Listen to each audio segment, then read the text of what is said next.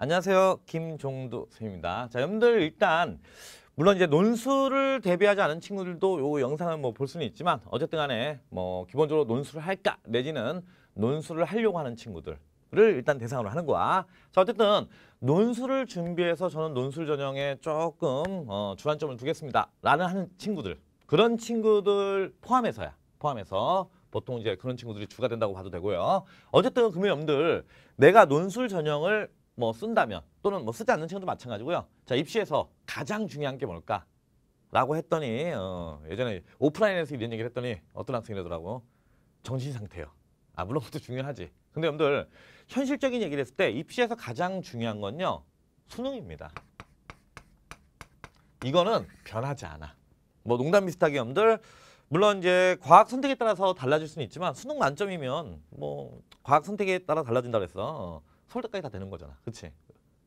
자 그래서 일단은 수능을 잘 보는 게 제일 중요해. 선생님 전 논술에 뭐 올인할 걸 할 건데요. 올인하지 말라 그랬지. 어, 선생님이 저번에서 올인하면 위험하다. 뭐 이런 얘기 했었고요. 그 다음에 여러분들 물론 사람마다 수험생마다 사정이 다르기 때문에 우리가 일률적으로 말할 수는 없어. 근데 이제 선생님은 평균적인 얘기를 좀 하는 거야. 그러면 여러분들이 입시에서요. 일단은 기본적으로 수능이 안 되면 굉장히 위험하다야. 전체적으로 봤을 때. 논술에 좀 더 무게중심을 두고 싶은데 어? 무게중심을 둬도 마찬가지야. 그래서 쌤이 실제로 오프라인, 온라인 뭐 상관없는데 뭐 보통 논술 강의 시작할 때 여러분들한테 가장 먼저 강조하는 것 중에 하나가 뭐냐면요. 논술 한다라는 그런 미명 아래에 여러분들이 수능을 소리하는 일이 없도록 해라야. 대신 항상 예전에는 이제 이런 게 없었는데 이제 수능 최저가 없는 학교가 있다 보니까 선생님 저는요 뭐 한양대 위주로 쓸 거예요. 저는요 뭐 서울 시립대 위주로 쓸 거예요.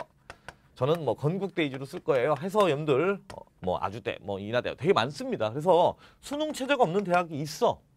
있어. 근데 이런 물론 아주 예외적인 상황이 있어. 선생님 저는요 사실은 대학생이에요. 근데 수능까지 볼 정도는 안 되고 수능은 안 보고요. 대신 요런 대학들 정도만 돼도 저는 만족합니다. 그래서 저는 수능은 안 보고요. 논술만 준비해서 요런 대학들만 시험을 볼 거예요.는 예외로 하자고. 그 굉장히 특수한 케이스잖아. 오케이. 그래서 그거 때문에 뭐라고 하지 마. 어. 자, 그러면 어쨌든 여러분들 그러면은 수능 보는 친구들은 이런 대학을 준비하면 안 되나? 해도 되지. 해도 되지. 근데 요런 대학들만 하는 건 위험하고요. 어찌됐든 간에 보통 논술을 뭐 적게 써서 뭐 세 개, 많이 써서 여섯 개까지 쓰는 친구들 놓고 봤을 때 이런 대학들이 걸쳐지는 거지. 걸쳐지는 거지. 수능 체제가 있는 대학도 보통 같이 준비한다고. 그런 전제에서 얘기하는 거야. 그럼 여러분들 수능이 제일 중요합니다. 그리고 그 중요도를 쌤이 뭐 수치가 중요한 건 아닌데 그냥 여러분들 상징적인 수치로 얘기한다면요. 수능의 중요도는 쌤은 90%로 봐. 평균적인 얘기야. 음, 90%로 봅니다. 그러면 이 90%의 의미가 뭐냐? 투자 시간. 자, 여러분들 물론 학생들마다 차이는 나겠지만 일주일에 수업 듣는 거 포함해서 몇 시간 정도 공부하니? 그러면 정말 적게 하는 친구들은요. 선생님 봤을 때는 한 50시간. 그 다음에 정말 많이 하는 친구들은 80시간까지 공부하는 친구도 있더라고. 매일 11시간씩 하면 거의 80시간 되거든. 80시간 너무 심했나? 뭐 어쨌든 간에. 자, 그러면 여러분들 요렇게 했을 때 여러분들 이 시간의 대부분은요. 수능에 투자하는 거야. 그건 논술이 10%인가요? 논술 전형을 준비한다면 아니야. 선생님 봤을 때는 논술은요. 5에서 정말 많이 쓰면은 한 8%. 근데 8%를 추천하진 않아. 근데 5에서 8%야. 그러면 여러분들 요거 물론 주당 시간입니다. 주당. 자 그러면 논술에서 여러분들이 쓸 수 있는 시간 선생님 봤을 때는요. 3에서 정말 많이 쓰면 5시간이야. 주당. 어 선생님 근데요. 여름에는 뭐 과학논술도 전 준비해야 되고요. 시간이 늘어나더라고요. 평균. 평균 얘기하는 거야. 평균. 그래서 보통 여러분들이 왜냐면 실제로 공부하는 동안에는요. 요 예를 들어서 뭐 저는 3시간만 할 거예요. 라고 어, 생각하는 친구들도 조금 늘어날 수는 있어. 왜냐면 실제로 여러분들 1학기 중간고사, 1학기 기말고사 요럴 때는 어때? 그치 보통 뭐 수능까지 쉬더라고. 어쨌든 간에 논술을 보통 공부 쉽니다. 그 다음에 여러분들 수능 직전에 보통 한 3주 정도는요. 수능 올인 기간이라 해서 또 논술 안 해. 근데 선생님이 말하는 건 평균이기 때문에 그런 거 다 펼쳐놨을 때를 얘기하는 거야. 그러면 여러분들 여기 중간 정도 시간으로 얘기할까? 그러면은 4시간 정도 투자한다는 얘기는 안 할 때도 있기 때문에 여러분들이 공부할 때는요. 실제, 실제로는 할 때는 4시간에서 5시간 정도 한다는 얘기야. 주당, 물론 주당. 오케이. 그러면 나머지는 뭔가요? 그럼 나머지 퍼센트는 나머지 퍼센트는 뭐냐면 뭐 내신도 들어가고요. 그다음에 학생부 종합이나 이런 거 준비하는 친구들 일부 서류가 필요하게 돼. 그래서 이제 그런 것들 준비하는 거 포함해서 얘기를 하는 거야. 선생님 저는 학생부 종합 이런 거 학생부 교과 이런 거하고 전혀 상관이 없습니다. 그러면 나머지를 다 여기다 투자할까요? 아니 그건 아니지. 그때도 수능 조금 올리고 논술 조금 올리고야. 예를 들어서 수능은 뭐 90, 뭐 2% 내지 3% 하고 논술을 뭐 7에서 8%. 그러니까 요거를 준비 안 한다면, 그치? 여기다 조금 더 쓸 수 있는 거지. 이거를 온전히 여기다 갖다 쓰고 그건 아니란 얘기야. 자, 이 얘기를 왜 하냐면은 여러분들이 자, 요거는 예외로 한다 그랬어. 여기는 걸치는 거지. 요것만 하는 건 굉장히 위험하기 때문에 예외로 한다고 그랬어. 자꾸 이걸로 딴지 걸면 안 돼. 자, 그러면 여러분들 보통 논술 실력을 올릴 수 있는 방법 뭘까? 이건 다른 과목도 마찬가지야. 여러분들 국어가 약해. 국어 실력을 올리고 싶어. 방법 뭐야? 아 국어만 하면 돼 하루 종일. 논술도 마찬가지입니다. 하루 종일 논술만 하면 돼. 그러면 논술 실력 올려. 올라가. 올라가는데 문제는 요런 데만 쓰는 친구들을 제외한다면 수능 체제가 어쨌든 간에 걸쳐진 대학을 여러분들이 같이 준비한다면요. 분명히 논술만 공부를 하면 논술 실력은 오르지. 오르게 되어 있어. 그래서 어 선생님 제가 봤을 땐 저는 논술 어, 고3 기준으로 전국 0.01%에 들은 것 같아요. 이거 오를 수 있어. 근데 여러분들이 논술 공부를 많이 한다는 얘기는요. 수능 공부 시간이 많이 줄어든다는 얘기야. 그러면 수능은 어지간하면 적당히 공부해서는 무조건 등수는 밀리게 되어 있어. 왜요? 공부를 안 한다가 아니라 적당히 공부해도 왜? 남들이 열심히 하니까. 그러면은 너무 많은 시간을 논술에 투자하면 이제 여러분들 수능 실력은 떨어집니다. 등수는 떨어지는 거야. 이게 딜레마야. 왜 딜레마예요? 자, 여러분들 논술 실력은 오르는데 수능 실력이 떨어져. 그래서 수능 최저를 통과 못해. 그러면 무슨 얘기야? 논술 전형하고 상관없는 삶이 돼가는 거야. 딜레마지. 자, 그래서 쌤이 강조하는 요 시간의 의미. 자, 요 시간의 의미를 좀 두 가지 측면에서 얘기를 할게. 첫째는 뭐냐면요. 쌤이 요 시간을 강조하는 이유는 첫째가 요게 수능을 건드리지 않는 건드리지 않으면서 논술 준비를 할 수 있는 적절한 시간인 것 같아. 왜냐면 물론 요 시간도 아깝긴 하지. 수능 더 하고 싶고. 근데 여러분들이 이제까지 사실 뭐 시, 음, 빠른 친구들은요. 사실 뭐 중학교 때부터 수능을 보고 온 거고요. 어, 좀 늦는 친구들도 보통은 이제 고1, 2 때부터는 수능을 어쨌든 바라보고 공부를 해온 거란 말이야. 그런데 여러분들이 요 시간, 주당 요 시간을 투자하는 것 때문에 저는 수능이 흔들려요 하면 왜? 대부분의 시간을 수능에 투자하는데. 그럼 여러분들 수능 공부를 잘못한 거지. 이 시간 때문에 수능 시간 흔들리면요 말이 안 됩니다. 수능 공부가 흔들리면 말이 안 돼. 그리고 이것도 사실은 온전하게 여러분들이 수능 공부하는 시간에서만 빼오는 게 아니야. 선생님 저 요새 어, 예를 들어서 예능 프로 중에 뭐에 삘이 꽂혔어요? 아 그거 안 보고 공부해야지. 딱 1년만. 어쨌든 어쨌든. 그래서 수능을 건드리지 않는 요 정도라면 선생님 봤을 때는 큰 틀에서 수능 공부하는 시간을 건드리지 않는다야. 자 그런데 내가 요 정도 준비했는데 나의 경쟁자들이 전부 10시간 이상씩 공부를 한다면 어? 상대적으로 내가 준비하는 건 의미가 없을 수도 있지. 근데 첫째, 그렇게 준비한 사람 거의 없어 얘들아. 그다음에 둘째, 그런 친구 있더라도 크게 걱정은 안 해도 될 것 같아. 왜? 논술 실력은 오르지만 음 이렇게 될 것 같아. 오케이. 자, 근데 여러분들 그렇게 공부하는 친구들 없어. 없습니다. 어? 예를 들어서 뭐 여름에 보니까 그렇게 하는 애들이 있더라고요. 보통 그런 친구들은 일단 위험할 수도 있고요. 그다음에 두 번째 1학기 때 안 했기 때문에 그걸 따라잡으려고 어쩔 수 없이 시간을 늘린 경우도 있단 말이야. 오케이. 자, 그래서 여러분들 요게요. 유의미한 논술 실력을 만들 수 있는 시간이라는 것도 강조하고 싶은 거야. 그러니까 단순하게 왜 수능을 건드리지 않는 공부 시간 확보했는데 그게 여러분들이 유의미한 논술 실력을 만들 수 없다면 의미가 없잖아. 근데 만들 수 있다는 얘기야. 그리고 거기에다가 어, 이 정도면요. 이거 이상으로 진짜 많이 공부하는 경쟁자들은 경쟁자들은 거의 없다야. 이거 이상으로 공부하는 경쟁자들은요. 거의 없습니다. 있을 수 있겠지. 이렇게 돼. 어, 크게 걱정할 필요 없다는 얘기야. 자, 그래서 선생님이 큰 틀의 얘기를 먼저 했고요. 그러면은 논술 대비해서의 기본은 뭐냐면요. 결국은 수능과 논술의 또는 논술 준비에 조화가 제일 중요하다는 거 잊으면 안 된다는 얘기야. 특수한 케이스의 어떤 그런 상황 친구들 빼고는요. 수능과 논술 준비를요. 조화롭게 여러분들이 잘 균형을 잡아야 돼. 근데 그 균형은 금방도 얘기했지만 일대일이 아니야. 일대일이 아닙니다.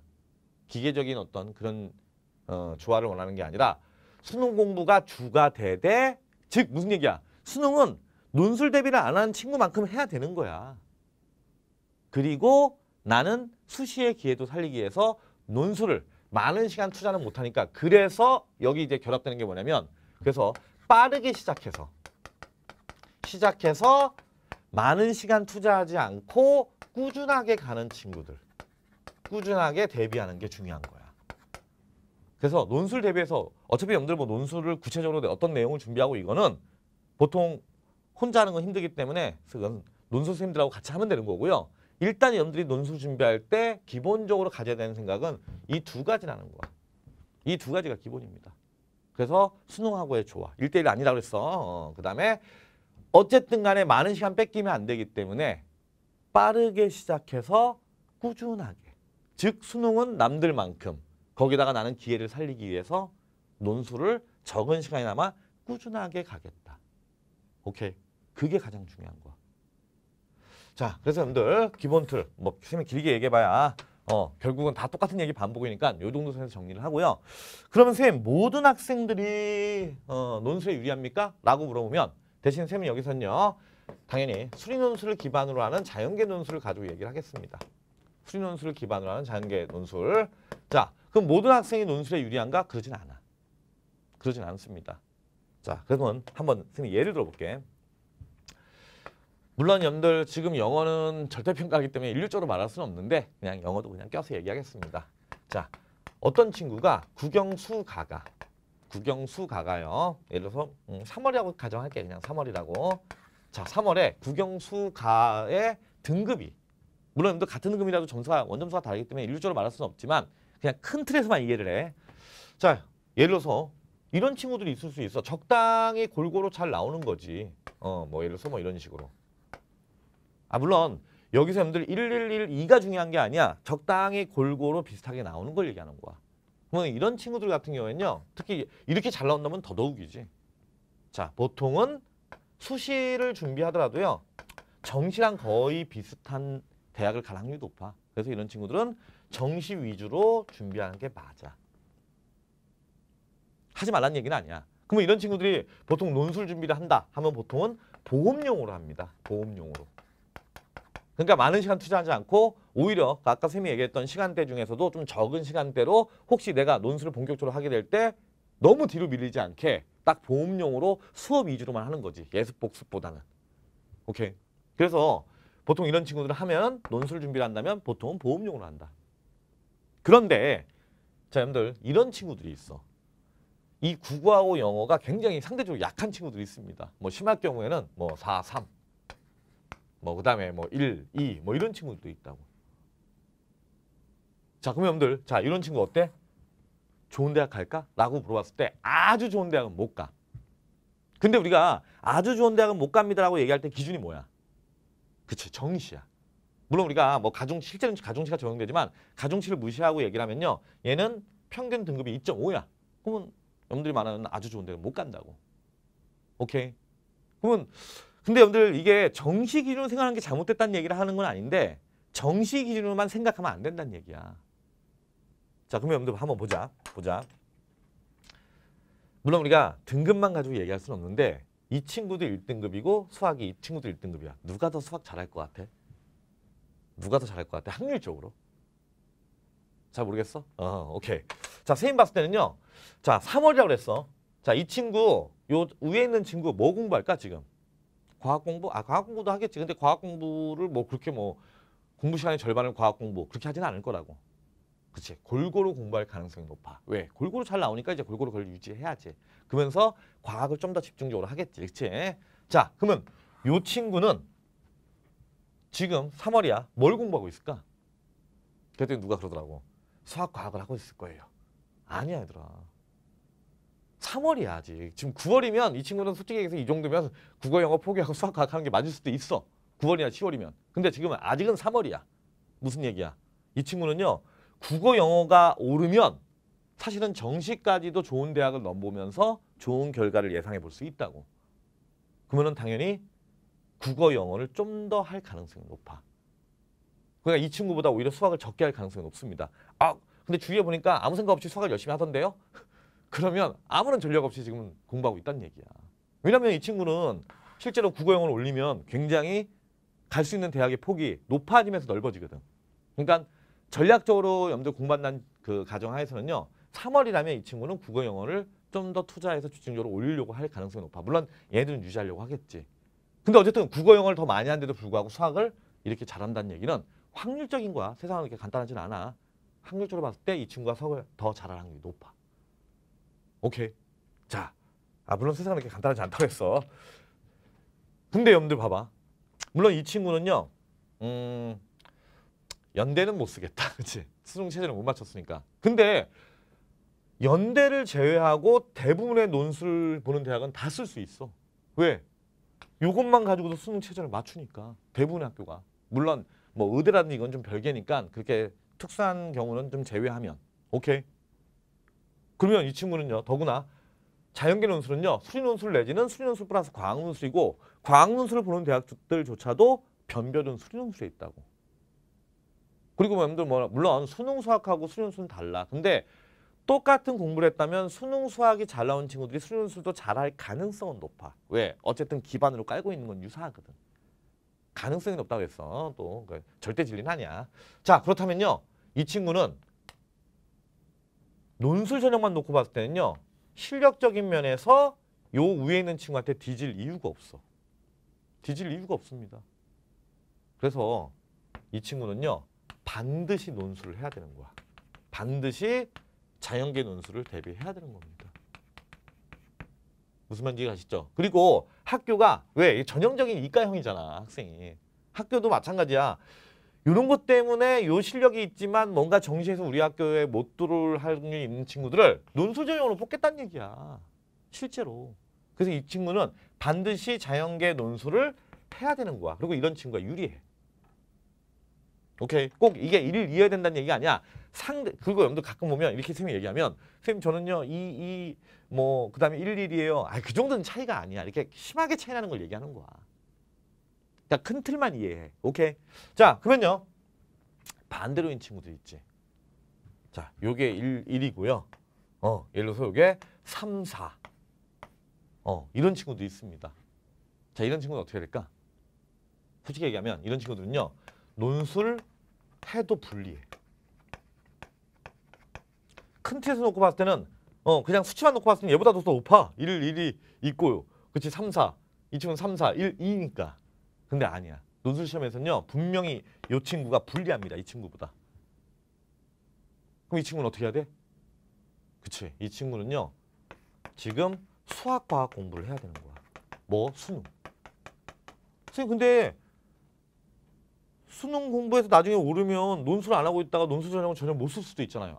그래도 이 친구는요 지금 당장 논술보다는 수능 수학과학을 올려야 되는 거야. 상대적으로 이게 낮기 때문에. 그러니까 3, 4인 친구들은 수능 실력을 올려 이 얘기를 하고 싶은 게 아니야. 상대적으로 낮은 친구들 놓고 얘기하는 거야. 그래서 여러분들이 상대값을 봐야 돼. 그래서 이런 친구들은 오히려 정시에 갈 수 있는 대학하고 비교해 봤을 때 수시가 자연계 수시가 유리하지 않다야. 그래서 요거를 올리려고 하셔야 되고요 그래서 이게 좀 올라가면 그때 논술 시작하는 거야 좀 늦긴 하겠지만 이게 안 오르면 의미가 없어. 의미가 없습니다. 그러니까 대신 대신 자기가 오르 추세까지 봐야 되거든. 당장 성적도 중요하지만 저는 올라가고 있는 추세요라는 추세까지 본다면 논술 준비를 할 수도 있지만 어쨌든 간에 현재 주어진 수치만 놓고 봤을 때는 불리하다라는 것도 알고 있어야 돼. 그러니까 아무나 다 논술 그게 아니야. 평균 등급이 비슷하다 해서 논술에서 상황이 비슷하다 아니란 얘기야. 대신 다시 한번 강조하지만 자 요거는요 여러분들 숫자가 중요한 게 아니라요. 상대적인 연 수치 차이가 중요한 거야. 오케이. 그래서 상대적으로 수학, 과학, 특히 수학. 수학을 잘하는데 국어, 영어를 못해서 정시에 좋은 대학을 못 간다. 상대적으로. 그런 친구들이 논술에서 자연계 논술에서 유리하다는 거야. 그래서 이런 친구는 반드시 해야 되고 이런 친구들은 뭐 해도 좋고 안 해도 좋아. 근데 하면 이제 보험용이지. 그럼 이제 시간은 적게 투자하면서 언제든지 본격적으로 뛰어들 수 있게 그치 진도 정도만 맞춰 가는 거지. 오케이. 그 다음에 이런 친구들은 어쩔 수 없어. 입시에서 좋은 성과를 내기 위해서는요. 일단은 수학, 과학을 올려야 돼. 수학 실력을 좀 더 바꿔야 돼. 오케이. 골고루 안 나오는 거는 뭐 따로 얘기하지 않겠습니다. 그 친구는 이제 골고루 공부를 해야 되겠지. 그래서 분명히 여러분들 물론 이게 절대 기준은 아니지만 전체적인 틀만 놓고 봤을 때 요걸 우리가 기본적인 어떤 국어, 영어, 수학, 과학의 실력으로 놓고 봤을 때요. 요런 등급 간의 차이만 가지고도 논술 전형에서 상대적으로 유리할지 물론 기준은 정시야. 불리할지를 어느 정도 예단할 수 있고 그 다음에 그거 가지고 큰 틀에서야 그거 가지고 자기가 현재 상황에서 논술 대비를 하는 게 유리한지 불리한지도 큰 틀에서는 정할 수 있다는 얘기야. 물론 뭐 여러분들 뭐 40만 명, 60만 명의 학생들이 있으면 그 학생들의 그런 어떤 개인적인 사정이나 실력 상황은 다 틀리기 때문에 하나의 예시야. 샘플적인 예시니까 자기 상황에 맞게 여러분들이 의도는 이해 가지겠지. 선생님이 말했던 의도는 그 틀 내에서 잘 해석해서 자기가 그냥 무조건 뛰어드는 게 아니라 논술하는데 유리한 그런 상황인지도 한번 생각을 해봐야 돼. 오케이.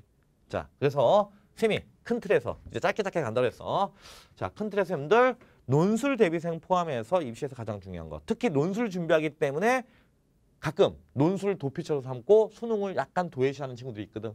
그런 친구들 조금 조심하는, 조심하라는 의미에서 입시에서 제일 중요한 건요.